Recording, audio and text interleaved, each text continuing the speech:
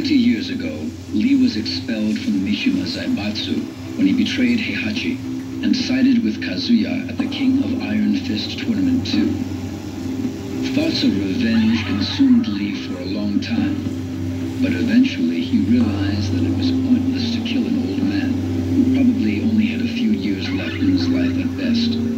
With that epiphany, Lee distanced himself from